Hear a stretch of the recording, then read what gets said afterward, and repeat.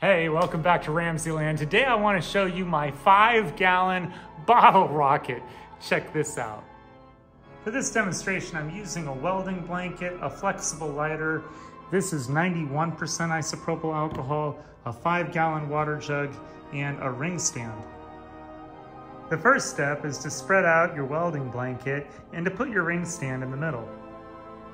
The next step is to coat the wall of your five gallon water jug with 91% isopropyl alcohol.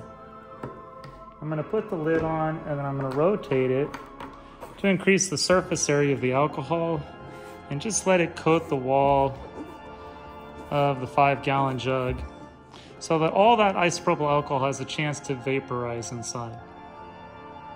Okay, with the lid still on, put it upside down in the ring stand for the launch.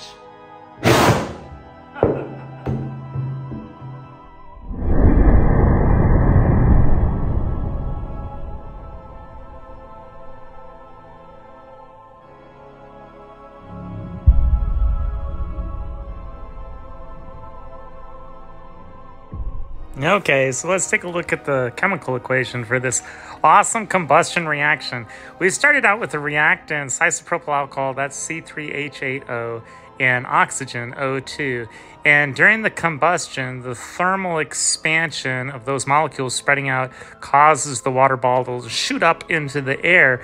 And the products are CO2, carbon dioxide gas, and H2O, water, and a lot of heat energy in this cool five gallon bottle rocket experiment. I hope you enjoyed today's edition of RamZland, and I'll see you next time. If you enjoyed this presentation, be sure to remember to like and subscribe.